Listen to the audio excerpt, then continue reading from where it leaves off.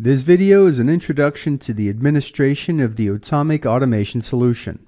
For the most part, this means configuring certain core aspects of the products not directly associated with IT operations. These functions are accessible in the administration perspective. This includes access and security. Administrators manage users and the groups they belong to, their passwords, authorizations, privileges, and anything related to their level of access.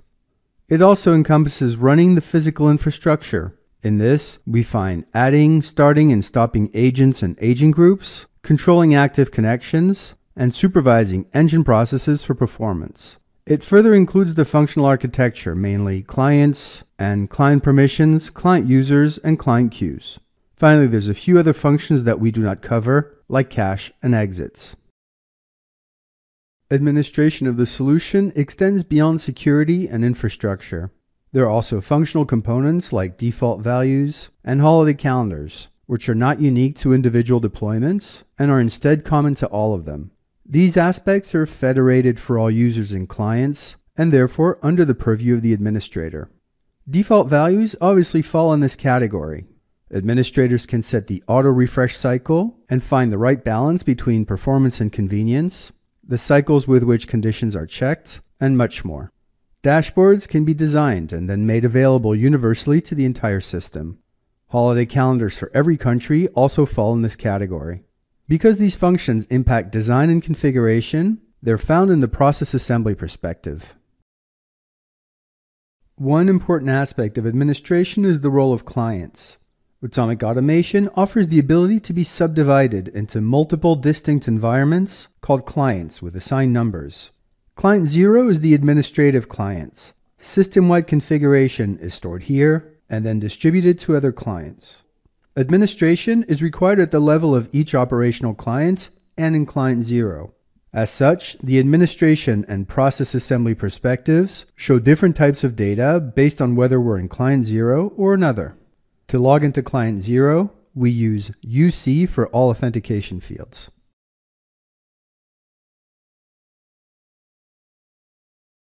The first thing you notice is that we're logged into client 0.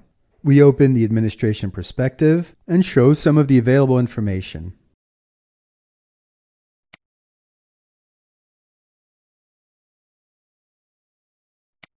One of the more important aspects of administration is security and user management.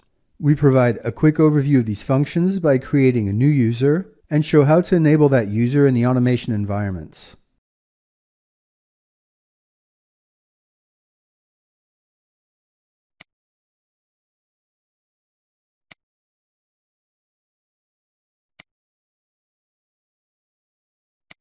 We're able to lock users temporarily or disable them entirely.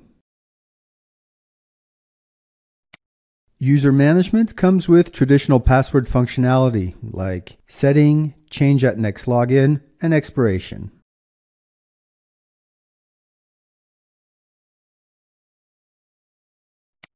The Automation Engine page contains two subpages, authorizations and privileges.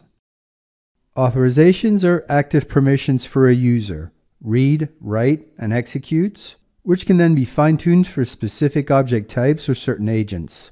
For example, without read authorization, the user is unable to open objects. Privileges, on the other hand, allow or deny use of interface components and specific functions. For example, you could prevent a user from being able to open a perspective.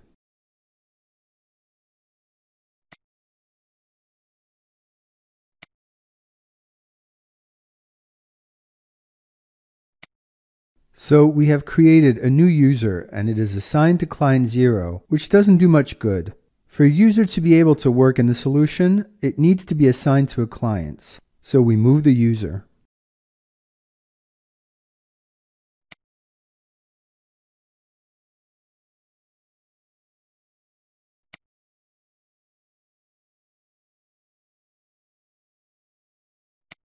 Administration tools provide an easy way to see who is currently connected to the system and where.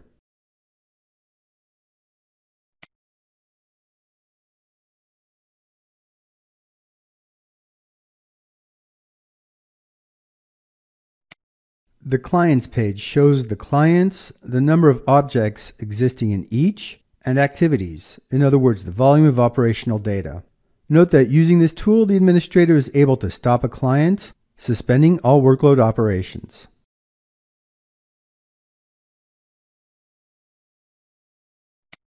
This shows the list of agents for the entire system. This is another convenient tool. It provides the ability to stop an agent, effectively ending processing for that system or application. If a connection is lost, we're able to renew the transfer key to allow the engine to identify and reconnect with the agent.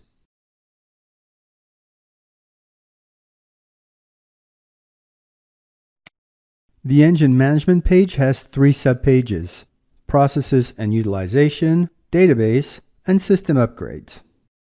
In this page, we're able to control communication and workload processes. We can stop and even delete them. The bottom part of the screen shows utilization of the system based on time. The database page shows basic information for the repository database.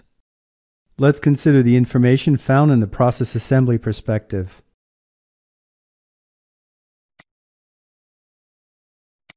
By default, Client 0 contains a fairly substantial number of folders, which in turn contain all the data necessary to manage configurations and IT operations for the entire system. Let's consider some of them.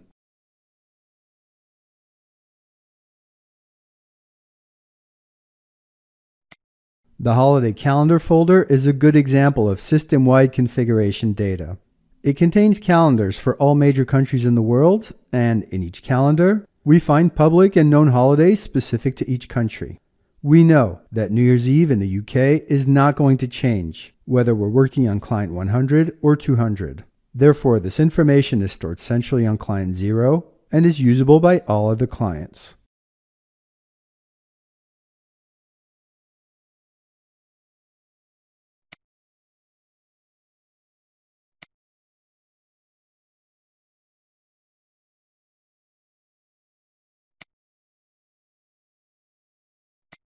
In every operational client, we're going to find a UC client settings Vara object, and we will show this variable object later when we explore client 100. Since we are in client 0, UC client settings is less relevant than UC system settings, which is this Vara object. Fundamentally, the two are not that different. UC client settings contains settings for the entire client. This includes default values for things like log size limits and refresh cycles. Because Client 0 offers no operational functionality, here we look at UC system settings, which contains values for the entire system.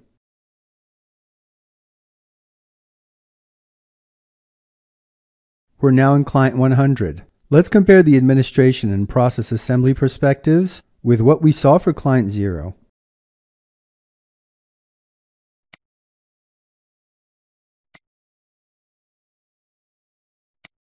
We only see client 100. None of the other clients are visible.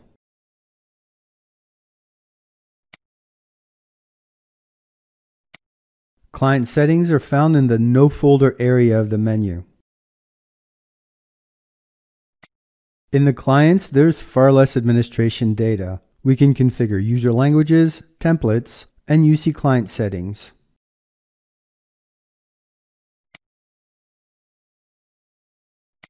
The client has a few settings, although we're able to add more based on certain requirements.